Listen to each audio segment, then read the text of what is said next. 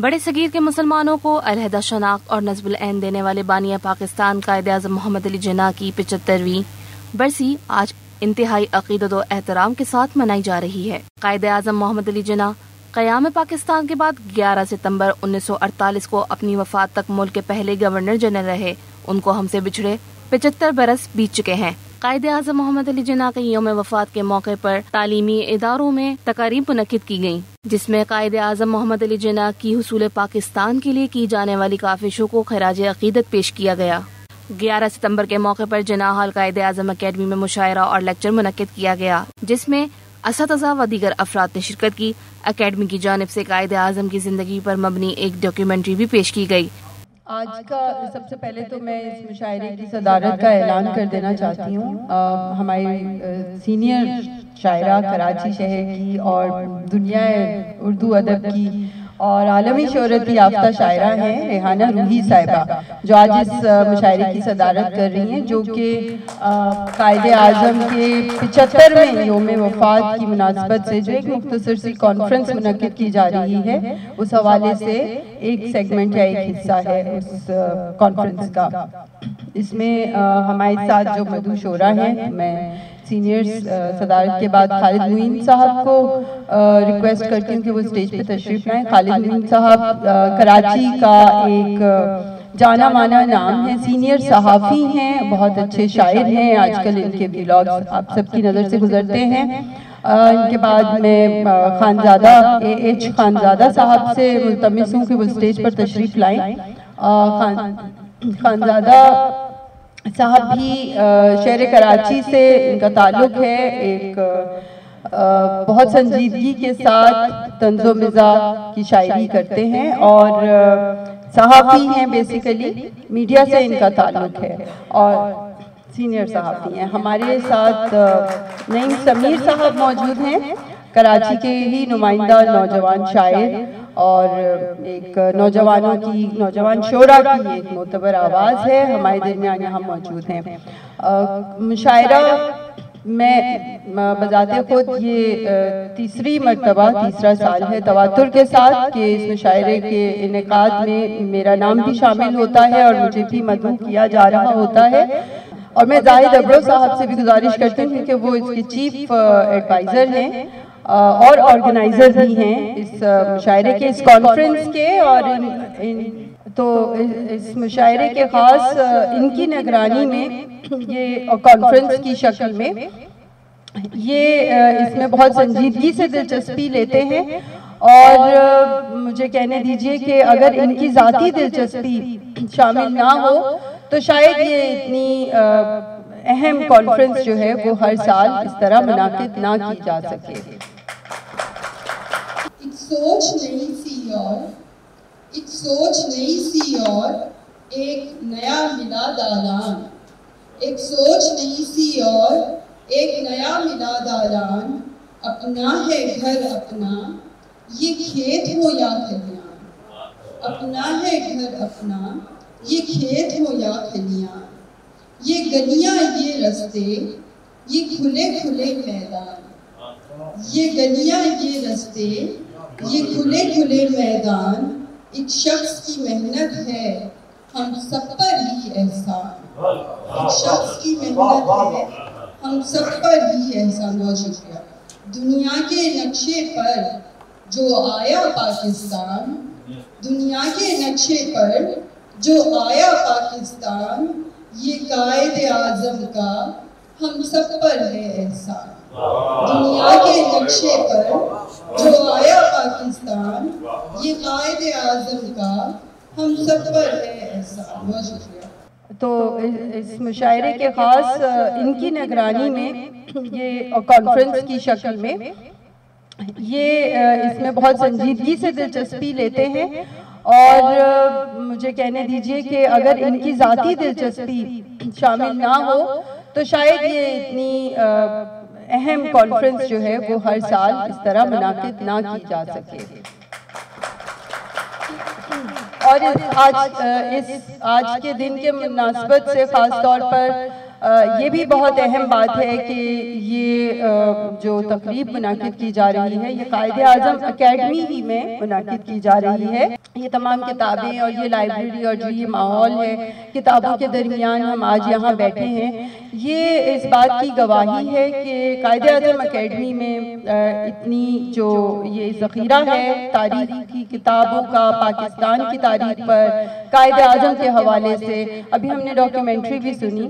तो ये सब चीज़ें बहुत अहमियत रखती हैं और नौजवानों को भी और आप सबके हवाले से भी कि जो आपकी शिरकत होती है, हर साल एक बहुत बड़ी तादाद में यहाँ पर आप सब मौजूद होते हैं। और ये वतन से मोहब्बत कायद आज़म से मोहब्बत कायद आज़म से एहतराम और ताल्लुक और बहुत ही ज़्यादा प्यार का रिश्ता है, जो किसी भी ज़िंदा कौम की एक जमानत होती है। इस बात थे कश्म कश्म यकीनो गुमान मुद्दत से। फिर एक रोज यकीन होने का गुमान मिला। खुदा का शुक्र मोहम्मद अली जिना जैसा।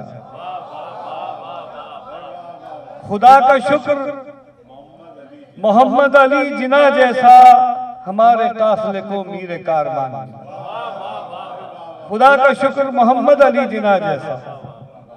हमारे काफले को मीर कारवान मिला। और दोस्तों, नज़र कायद के बाद हम आपकी खिदमत में पहले कराची बयान करते हैं। जो भी आए, खुली बाहों की तरह मिलता हूँ। जो भी आए, खुली बाहों की तरह मिलता हूँ। जाने वालों से दुआओं की तरह मिलता हूँ जाने वालों से दुआओं की तरह मिलता हूँ। मैं हूँ साहिल, है समुंदर की तरह जर्फ मेरा। मैं हूँ साहिल, है समुंदर की तरह जर्फ मेरा। राहगीरों, खुली राहों की तरह मिलता हूँ। मैं हूँ साहिल, है समुंदर की तरह जर्फ मेरा। राहगीरों, खुली राहों की तरह मिलता हूँ।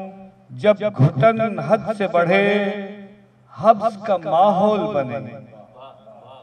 जब घुटन हब्स बने, जब घुटन हद से बढ़े, हब्स का माहौल बने, मैं बसत शौक घटाओं की तरह मिलता।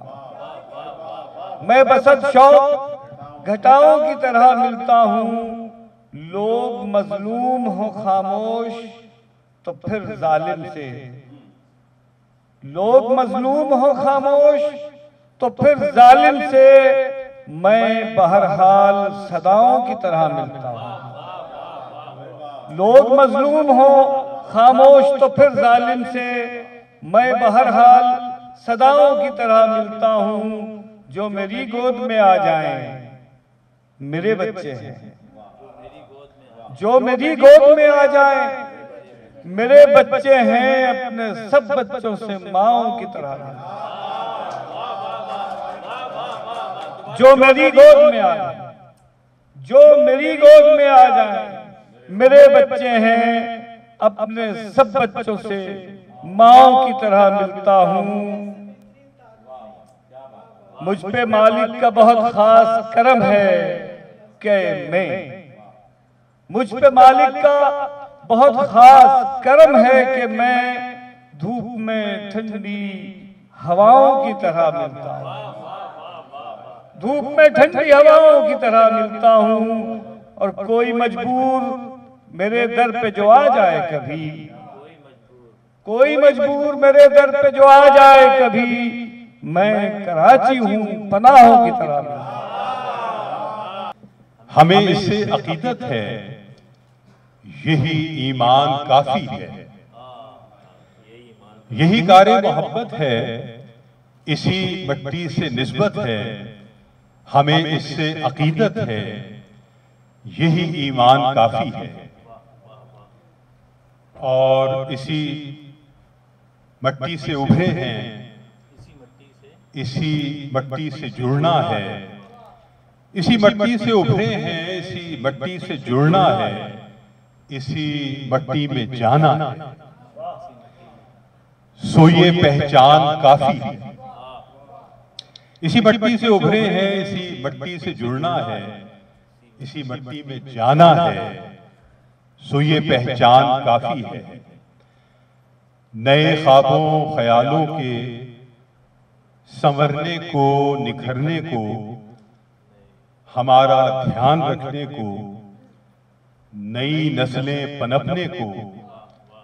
ये पाकिस्तान काफ़ी। है नए ख्वाबों नए ख्वाबों नए ख्वाबों ख्यालों के संवरने को निखरने को हमारा ध्यान रखने को नई नस्लें पनपने को ये पाकिस्तान काफ़ी है। परिंदे हमसे बेहतर हैं। बजा, हम अशरफुल मखलूक हैं, लेकिन परिंदे हमसे बेहतर हैं। बजा, हम अशरफुल मखलूक हैं, लेकिन परिंदे हमसे बेहतर हैं। दरख्तों पर कभी जागीर की खातिर कोई बेघर नहीं होता।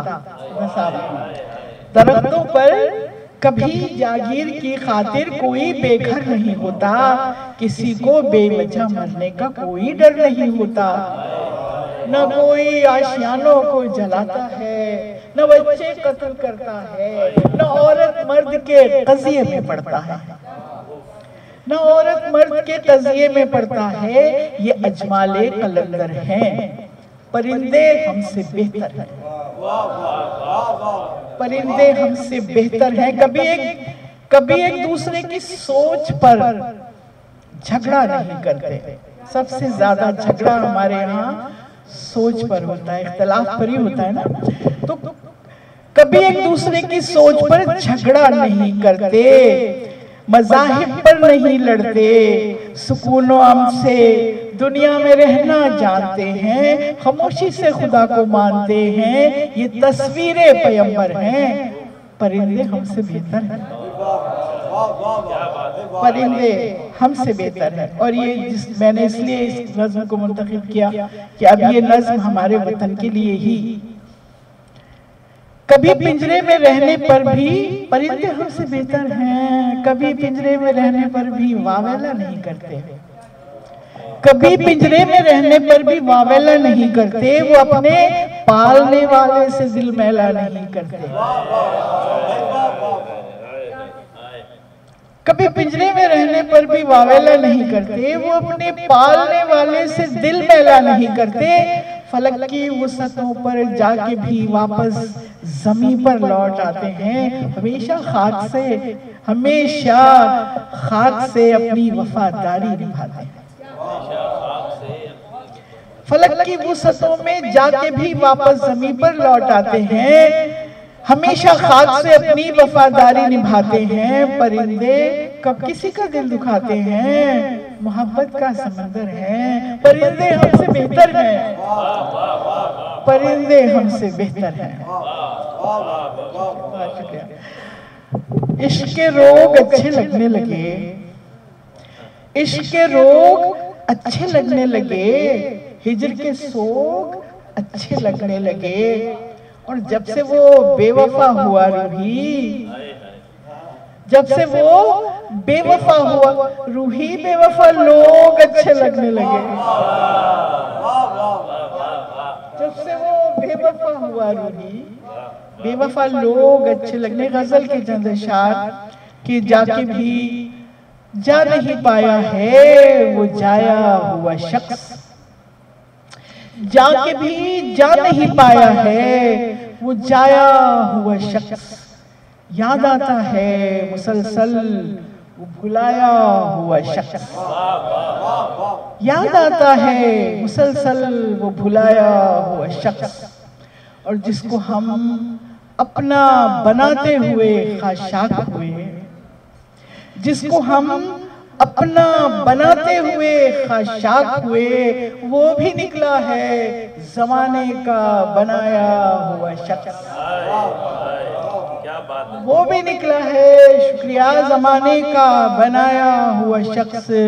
अच्छी लगती हूँ मैं, हंसती हुई उसको लेकिन अच्छी लगती हूँ मैं, हंसती हुई उसको लेकिन कैसे हंस सकता है? अंदर से रुलाया हुआ शख्स। अच्छी लगती हूँ मैं, हंसती हुई उसको लेकिन कैसे हंस सकता है? अंदर से रुलाया हुआ शख्स डरती हूँ सोते हुए आँख न खुल जाए कहीं। कि डरती हूँ सोते हुए आँख न खुल जाए कहीं और चला जाए न वो ख्वाब में आया हुआ शख्स। डरती हूँ सोते हुए आँख न खुल जाए कहीं और चला जाए न वो ख्वाब में आया हुआ शख्स, ठोकरे खा के जो गिरते हैं, संभल जाते हैं। ठोकरे खा के जो गिरते हैं, संभल जाते हैं, पर संभलता नहीं, नज़रों से गिराया हुआ शख्स। ठोकरे खा के ठोकरे खा के जो गिरते हैं, संभल जाते हैं, पर संभलता नहीं। नज़रों से गिराया शख्स और ये शेर आपके नाम। ये हम सब, हम 21वीं सदी के लोगों की टेक्निकल जो हमें फैसिलिटीज़ है उनके नाम। ये शेर खालिद में ये नया शेर मैंने किया था तवज्जो चाहती हूँ। शब तन्हाई में, ऐसा है मेरा मोबाइल। शब तन्हाई में ऐसा है मेरा मोबाइल जैसे कि होता है सीने से लगाया हुआ शख्स। शब तन्हाई में ऐसा है मेरा मोबाइल जैसे कि होता है सीने से लगाया हुआ शख्स। आखिरी शेर जीने देता है, न मरने की इजाज़त रूही।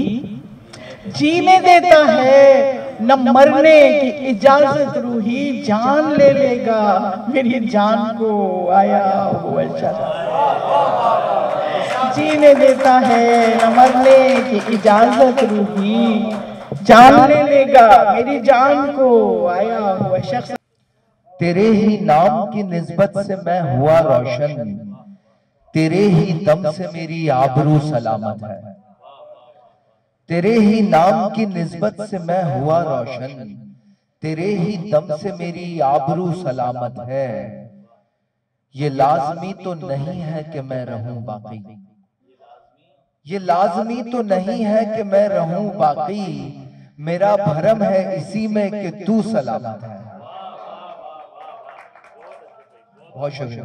तेरे ही नाम की निस्बत से मैं हुआ रोशन। तेरे ही दम से मेरी आबरू सलामत है। ये लाजमी तो नहीं है कि मैं रहूँ बाकी। मेरा भरम है इसी में कि तू सलामत है। तेरे वजूद का उगदा समझ सका ना कोई। तेरे वजूद का उगदा समझ सका ना कोई। तेरा जहूर तो एक हुक्म आसमानी है। तेरे वजूद का उगदा समझ सका ना कोई। तेरा जहूर तो एक हुक्म आसमानी है। तेरा कयाम कोई दास्तान ख्वाब नहीं। तेरा नजूल तो रब की कोई निशानी है तेरा कयाम कोई दास्तान ख्वाब नहीं। तेरा नजूल तो रब की कोई निशानी है। मैं इस चमन में रहूँ या चमन से दूर रहूँ?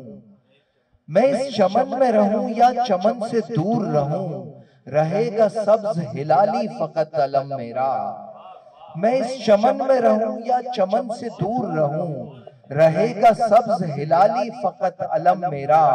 तेरी, तेरा वकार बढ़ाती रहे जबा मेरी, तेरी ही शान में लिखता रहे कलम मेरा। तेरा वकार बढ़ाती रहे जबा मेरी, तेरी ही शान में लिखता रहे कलम मेरा। चंद अशार। ऐसा तो यहाँ कुछ भी नहीं हद नज़र तक। ऐसा तो यहाँ कुछ भी नहीं हद नज़र तक। हमको तो पहुँचना था किसी खाब नगर तक। ऐसा तो यहाँ कुछ भी नहीं हद नज़र तक। हमको तो पहुँचना था किसी खाब नगर तक। अब पाओ नहीं, राह में दिल थकने लगा है। अब पाओ नहीं, राह में दिल थकने लगा है, लेकिन हमें चलना तो है अंजाम सफ़र तक। अब पाओ नहीं, राह में दिल थकने लगा है, लेकिन हमें चलना तो है अंजाम सफ़र तक।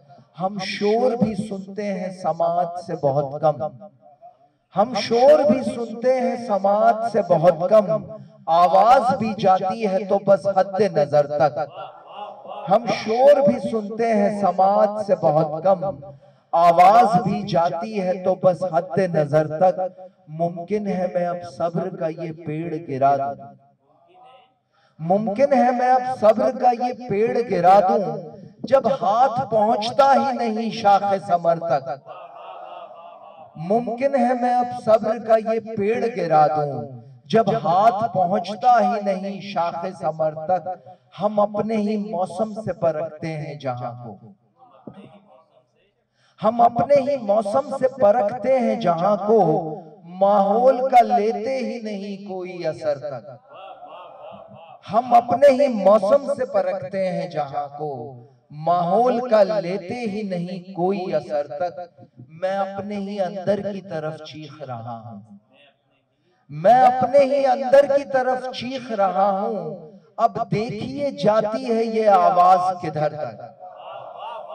मैं अपने ही अंदर की तरफ़ चीख रहा हूँ। अब देखिए जाती है ये आवाज़ किधर तक।